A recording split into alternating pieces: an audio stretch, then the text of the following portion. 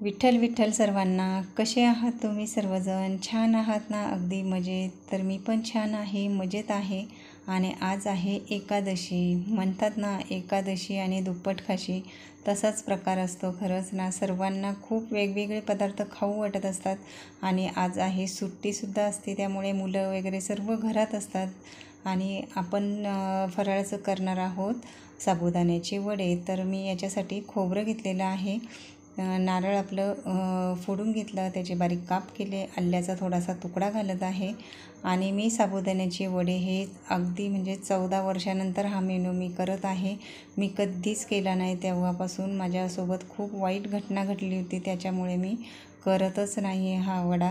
पण आज मी हिंमत करूनच केलेला आहे. खूप भीती वाटत होती करताना. पण म्हटलं जाऊ दे मुलाला पाहिजेच होते आज. कारण की मी तुम्हाला पुढे सांगतेच माझ्यासोबत काय घटना झालेली होती. तर हा आल्याचा तुकडाही मी बारीक कट करून घेतला आपल्याला. आता चटणी करायची आहे त्याच्यासाठी ओलं नारळाचे पण तुकडे बारीक करून घेतले आणि हिरव्या मिरच्या घालायच्या आहेत.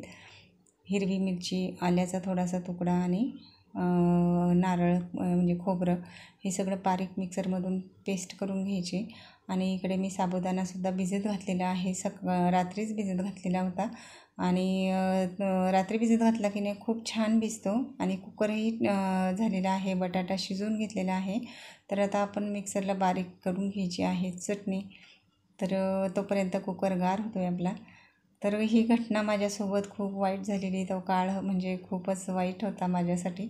माझं म्हणजे पूर्ण मी माझ्या मुलाच्या वेळेस प्रेग्नेंट होते आणि असंच वडे करायचा प्रोग्राम घरात झालेला होता आणि तो वडा करताना माझ्या मला सर्व भाजलं होतं. तो साबुदाण्याचा वडा फुटल्यामुळे माझ्यासोबत खूप वाईट घटना झालेली होती.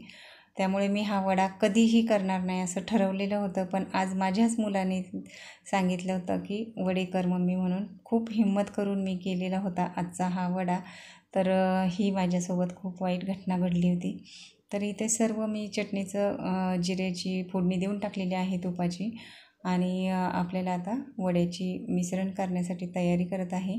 त्याच्यातच मैत्रिणीचा कॉल आला होता की आज विठ्ठल रुक्मिणीच्या मंदिरात जाऊया म्हणून.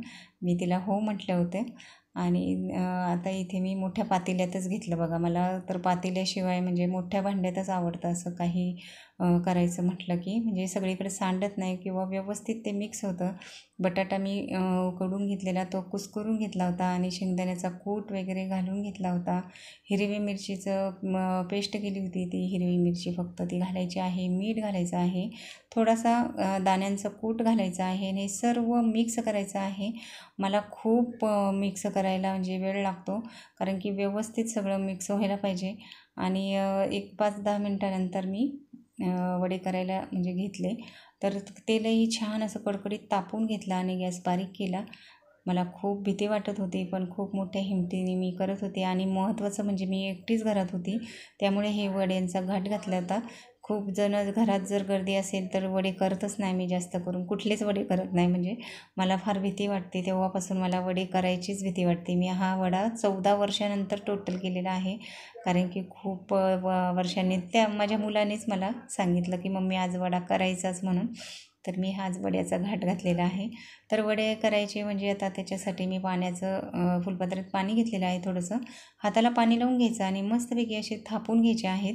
मला तर भाकरीसारखंच वाटत होतं म्हणून मी घेतलं भाकरीसारखं करून. पण असेच मस्त होतात. जशी आपल्याला जमतात तसेच करायचे. मी वेगळ्या पद्धतीने करतच नाही. मला जसे क येतात त्याच पद्धतीने करते आणि तसेच दाखवते.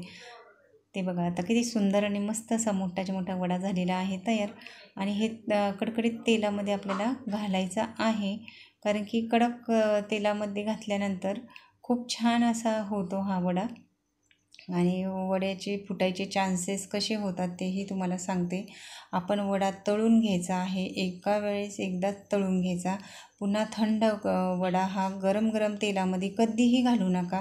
कारण की तसंच केल्यामुळं माझ्या मला सर्व ठिकाणी भाजलं होतं. जसा तो साबुदाण्याचा वडा फुटला तसं पूर्ण माझ्या चेहऱ्यावर हातांवर पायावर पोटावर गळ्यावर सगळीकडे मला भाजलं होतं. इतके मोठे मोठे फोड आले होते. मी प्रेग्नेंट होते आणि मला खूप त्रास झाला होता. असं माझ्या मैत्रिणींनी करू नका. खरंच माझ्या ताईंनी वगैरे सांभाळून वडा तळा. तर हा वडा बघा किती छान असा मस्त तळल्या जात आहे. कडकडीत तेलामध्ये घालायचा. थोडीशी भीती वाटत होती पण तसाच मी केला. आणि असे सगळे वडे मी हातावर असे करून घेतले होते. तुम्हाला माझी पद्धत कशी वाटली नक्की सांगा. हाताला पाणी लावायचं म्हणजे हाताला पाणी लावलं की ते अजिबात चिटकत नाही. आणि मी जसे भाकरीचा उंडा करत असते त्याप्रमाणेच थापून घेतलेला आहे.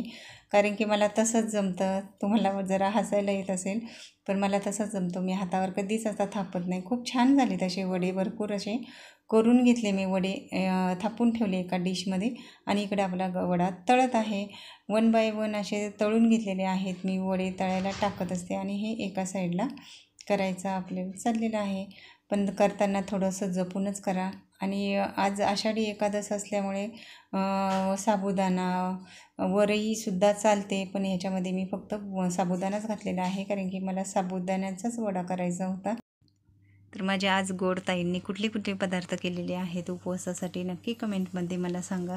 तर तुमच्याकडे आली होती ज्ञानेश्वरांची पालखी तर इथे आमच्या इथे आली होती आणि आम्ही सर्वजण दर्शनासाठी गेलो होतो. खूप छान वाटलं. इतके मोठा समुदाय हा आपल्या महाराष्ट्रातनं सर्व भाविक हे जात असतात पंढरपूर दर्शन करण्यासाठी. खूप छान वाटलं.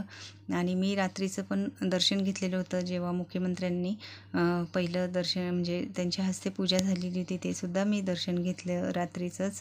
मी नेहमी सह्याद्री वाहिनीला नेहमी असतं बघा ते दोन अडीच वाजता बरोबर बेल लावते आणि त्या टायमामध्ये मी दर्शन घेत असते विठ्ठलाचं.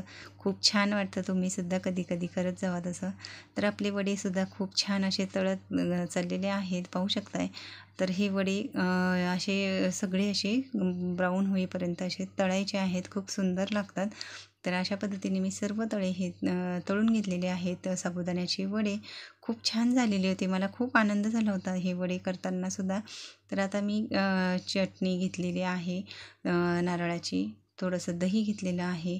आणि आपली साबुदाण्याची वडे. तर कसे वाटले तुम्हाला वडे? नक्की कमेंटमध्ये सांगा. आणि जर तुम्हाला व्हिडिओ आवडला असेल तर लाईक करा. चॅनलला सबस्क्राईब करा. याच्यानंतर आम्ही सर्व मैत्रिणी माझ्या विठ्ठलाच्या मंदिरात गेलो होतो दर्शनासाठी. तर बाय बाय.